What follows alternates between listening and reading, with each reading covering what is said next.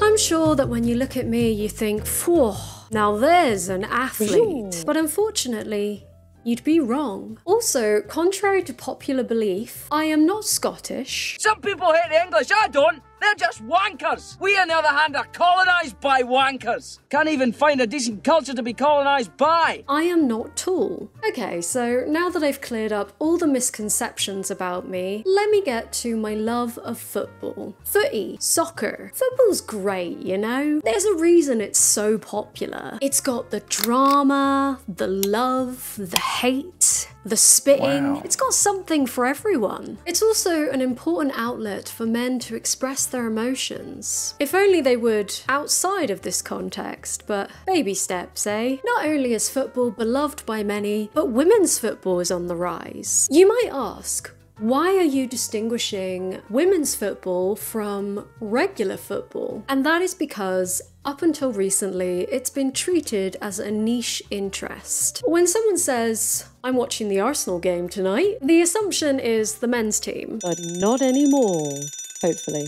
A brief history of women's football in England. It was banned for 50 years. The first reported women's football team in England was founded in 1895, where the British Ladies Football Club divided into North and South teams for a game in Crouch End in March 1895. The North won by a landslide score of 7 to 1. The captain of the team was a lady named Nettie Honeyball, which is hilarious. It's, it wasn't her real name, but it's still so funny. She also used her position to get political. There is nothing of the farcical nature about the British Ladies Football Club. I founded the association late last year with the fixed resolve of proving to the world that women are not the ornamental and useless creatures men have pictured. I must confess my convictions on all matters. Where the sexes are so widely divided, are all on the side of emancipation. And I look forward to the time when ladies may sit in Parliament and have a voice in the direction of affairs, especially those which concern them most. Then the BLFC went quiet due to women being required to work in the factories during the First World War. So jump forward, it's the 1920s, and we have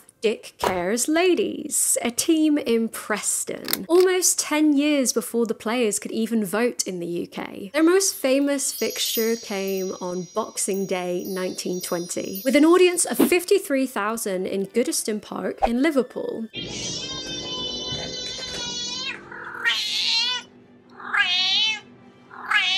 And just when you thought they'd already girl bossed hard enough, they raised 3k for charity, which is the equivalent of 40k today. In that same year, they also beat France in the first international women's game 2 0 for a crowd of 25,000. Um, important announcement. They kissed. Wow. They kissed. Wow. They kissed. Wow. That's that's Wow. pretty um that's pretty that's Wow. that's pretty gay. But then, on the 5th of December 1921, the Football Association met at its headquarters in London and announced a 50 year ban on the women's game from being played on professional grounds and pitches of clubs affiliated with the FA. The game of football is quite unsuitable for females and ought not to be encouraged. So it's not that women were forbidden from playing football outright, but because they were banned from stadiums, this led to a huge downturn in attendance, as teams had no choice but to play in parks and fields. But like a phoenix rising from the ashes, the Women's FA formed again in 1969. Ayo! In 1971, the FA had lifted its ban, with the first Women's FA Cup final in the same year. The first instance of the Women's World Cup dates back to July 1970 in Italy, but this was unofficial. During the decade, multiple countries lifted bans on women's football, hosting continental women's tournaments like in Asia in 1975. In 1984 came the first ever Women's European Championship, and England made its final to face Sweden. Sweden won 1 0. Norwegian player Ellen Veal, Vil, Vil, Norwegian people feel free to correct me, demanded the FIFA Congress better promote women's football, which was put to the test with the 1988 FIFA Women's Invitation Tournament in China. After the opening match of the tournament between China and Canada was attended by 45,000 people, the tournament was deemed a success, with crowds averaging 20,000. Due to its success, on the 30th of June, FIFA approved the establishment of an official World Cup for women, which was to take place in 1991 again in China. Slay. I'm sorry, but I don't know what else to say. Oh, hey, that rhymed. We recently saw the conclusion of the 2023 FIFA Women's World Cup, which was hosted by Australia and New Zealand, where Spain was announced supreme, which is fine. I would have loved to see England win, but either way, it's a win for women. History was made when England made the Women's World Cup final for the first time. Viewing records were broken with the England versus Spain game being watched by a peak BBC TV audience of 12 million. More than 1.7 million tickets were sold. This is huge and exciting. It's amazing to see women's football get the recognition it deserves. The sheer talent shown in this year's World Cup has been magnificent. Like Chloe Kelly's penalty kick in the match against Nigeria. Kelly's shot was faster than every Premier goal in 2023, faster than any goal recorded last season in the men's English Premier League. You know that cat meme that's like the fastest living thing on earth? They should add Chloe Kelly to that. They need to add Chloe Kelly to the Hall of Fame of fast cats. Charisma, uniqueness, nerve, and talent. And even if you're not someone who cares about football, consider that the rise of women's football is important on a societal level because representation means more young girls will participate in football and sports in general. Playing footy is fun and good for your health because it releases endorphins, which help to relieve stress. You know what also releases endorphins? Go on. Take a guess. I dare ya. That's right, I'm back today with my bestie, LELO. Longtime funder of the cow and all her antics. Longtime facilitator of endorphins on this channel. It is the luxury pleasure brand with the mission to create satisfaction that transcends gender, orientation, race, and age without shame. You can be ashamed of being a Man United fan, but don't be ashamed of using the LELO Enigma Wave. The Enigma Wave is a triple stimulation sonic massager, which caters to both erogenous zones. I love that word, erogenous, so fancy. And this combination leads to a powerful pleasure hybrid or pleasure smoothie, sensual smoothie. Oh, that's good. Because you know what they say teamwork creates dream work. Why limit yourself to one area of satisfaction? Well, you don't have to with the Enigma Wave, as it has three motors for triple pleasure and offers eight. I can't do that with my fingers because I'm holding the mic, but eight different modes to experience, explore, and enjoy. She shoots, she scores. The Enigma Wave creates magic by using a combination of sonic waves and gentle pulses for an electric sensory experience. Oh, and the silicone is waterproof, so you can safely wash your Enigma Wave after use and or use it in the bath or shower. I'm sure you're dying to get your hands on this bad boy. So click on my link in the description to learn more about the LELO Enigma Wave and browse LELO's vast range of products suitable for all genders and body types. Thank you LELO for sponsoring today's video.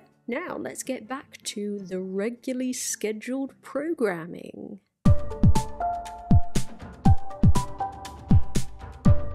Despite the fact that women make up about 40% of athletes overall, only about 4% of sports media reporting covers women's sports. The recent recognition of women's football hits a special spot in my heart because I loved football as a kid. I was a huge Arsenal fan and I loved playing football. I played it every day. But then for secondary school, that all changed. I went to a girls' school and football wasn't an option there in PE or as an extracurricular. And I remember requesting it and they said no. They only offered netball, which I'm not poo pooing on netball. Of course, it's a real sport, but it's a majority women's sport. So I think it's kind of interesting that they opted for the most womany sport. So my toxic trait is that I have the most irrational response to pivoting in netball. It just gives me the ick. I I know it's ridiculous. I know, but I just I hate it so much. It makes me cringe.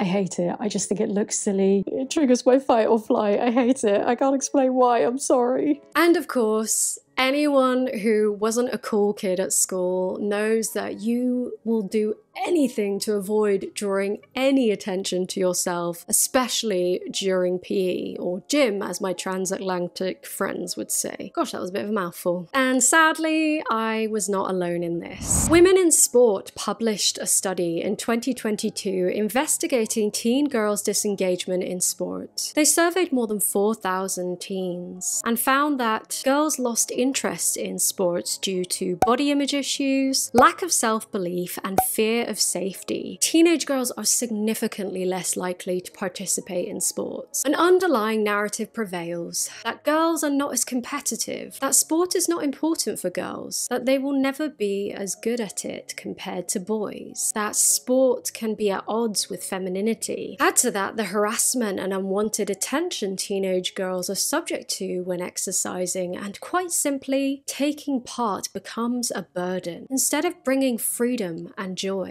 And this is tragic. Sports and athletics are monumental for team building, making friends, building self confidence, and looking after both your physical and mental health. This isn't just about creating future female athletes. Exercise should be enjoyed by anyone. You don't have to be good at something to participate, which is something I'm still learning. And my love of football was reignited when I watched the Women's Euros last summer. I hadn't watched a match in years. My very gay theatre kid friends and I rocked up to the pub for the final, which England won. We were so clueless. A friend of mine even asked, Is there an interval? Which is called halftime. But we were all engrossed, mesmerised, and now we're all keeping track of the games and we love it. So, women's football is booming. Let's celebrate! Do the crab dance we all did when Rush Limbaugh died. Things are looking up, right? Uh, well, well, no. They're still bad. Like,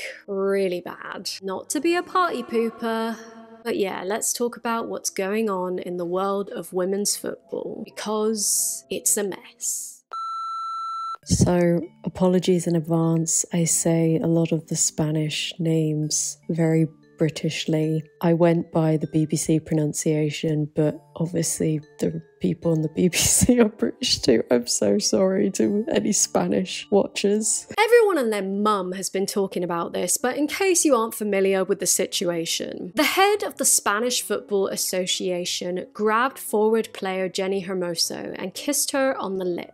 Hermoso said on a live stream afterwards that she didn't like it. She made a statement about this. The situation left me in shock because of the context of the celebration, and with the time past and those initial feelings being able to sink, I feel the need to denounce this as I feel that no one in no workspace, sporting or social, should be victim to this type of unconsensual behavior. I felt vulnerable and a victim of aggression, an impulsive act, sexist, out of place and without any type of consent from my part. In short, I wasn't respected. Despite my decision, I have to state that I have been under constant pressure to come out with some sort of statement that would justify the acts of Mr. Luis Rubiales. Not only that, but also via different ways and different people. The RFEF has pressured my close circle, family, friends, teammates, etc. So I would give a statement that had little or nothing to do with how I felt. So the Spanish Football Federation has threatened to sue her for defamation, even though there's video. We can see it. There it is. they have also threatened to sue the 79 women's football players who signed a letter in which they refused to play for their country as long as Luis Rubiales remained in his post. Oh yeah, and he refuses to resign. No voy a dimitir.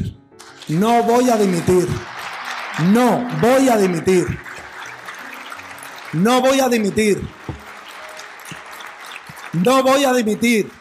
He claims that a social assassination is taking place. His mum's on hunger strike. It's all very embarrassing. And I know that some people are going to point to the video of Hermoso on the coach after the match where she's apparently laughing at memes from the video clip of the incident. But I don't think this is the gotcha that her critics think it is. When he when he let go, she should have slapped him around the face. Oh, that would have been if she was so unhappy about Hang it. on. Sometimes it takes a while for things to sink in, as she said in her statement, and there's no correct or incorrect reaction to your own traumatic experience. And let's just say, for the sake of argument, that she verbally consented, which she didn't, but let's just say she did, it's still super inappropriate with the power dynamic. He just shouldn't have done it. Never should have done it. Can we all just agree on that? And the thing that's so strange about this is that even though Spanish politicians have condemned him, you know, FIFA have issued him a 90 day ban from all football activity, the Federation is backing him. But interestingly, they did fire the head coach who's been accused of inappropriate behavior. He was one of the people that applauded during Rubiales' I will not resign speech. And in that speech, Rubiales offered him a new contract, so they are close allies. So it kind of backfired for the coach, standing by Rubiales. Bet you feel really stupid now, huh? So this situation is still ongoing. So the plot thickens. The news has just come out that he has resigned. He has finally resigned. Yeah, I'm going to.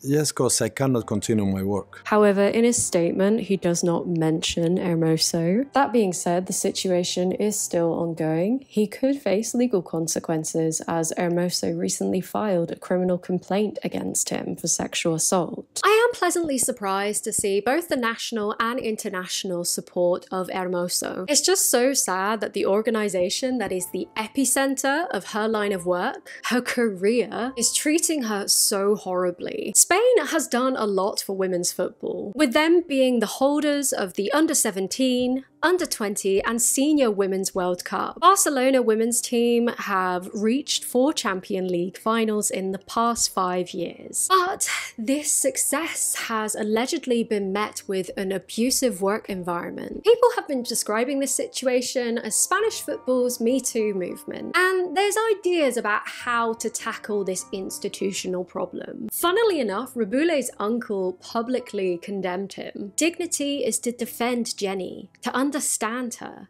and to reproach the shameful behavior of this president. I think he needs a social re education program and a re education in his relationship with women. Now, personally, I think he's going to keep burying his head in the sand, but there is something to be said about restorative projects to deprogram bias and sexist attitudes. And of course, another suggestion is to have more female coaches and to have more women in leadership positions in football federations.